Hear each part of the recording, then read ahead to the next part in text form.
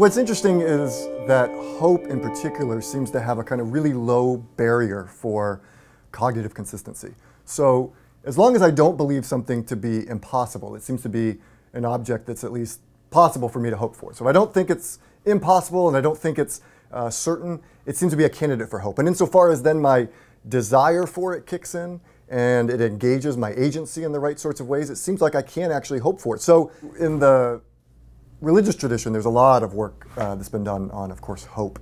And in particular, the relation between hope and other of the so-called theological virtues, faith and love. Um, and one of the things we were interested in and uh, has to do with the connection between faith and hope.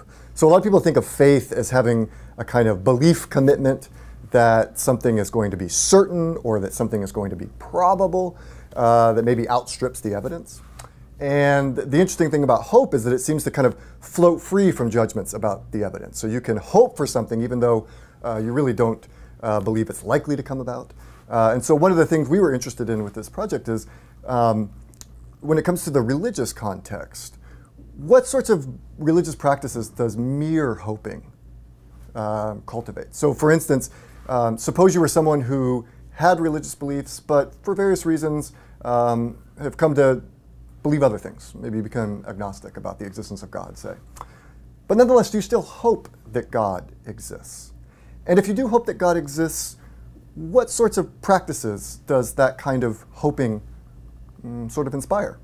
Uh, is it possible to hopefully pray, even though you don't actually believe that God exists? Can you still pray and hope? Can you participate in religious practices and communities, even though you don't actually endorse the beliefs necessarily anymore?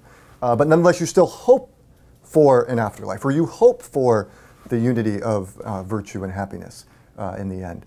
So, what sorts of uh, distinctive beliefs and practices can we get if we have hope without faith?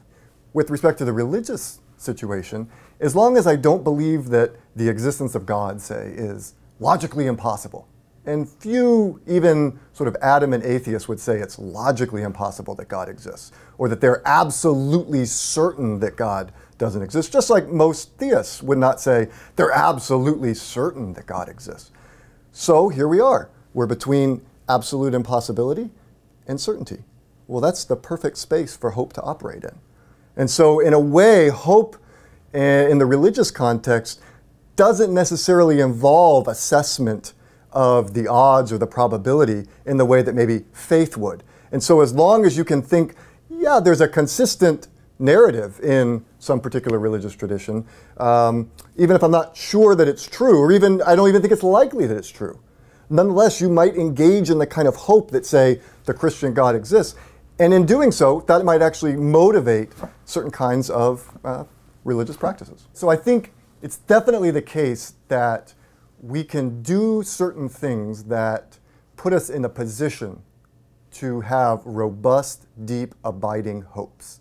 And so, in that sense, I do think hope can be under the volitional control of an agent. It might not be the sort of thing that I can just bootstrap my way into on a dime, sort of on a snap or something like that. I just magically start hoping. But can I do things that I know if I'm in the right community context, I'm in the right um, sort of situation, it will in fact instill in me desires. It will in fact instill in me a sense of agency and urgency over the object of my desires and will help me see the possibility space for those desires being realized. That's exactly the kind of situation I actually do have control over putting myself in. And insofar as I do that, it does seem like I can sort of indirectly put myself in a position to inculcate deep, rich, sustaining hopes.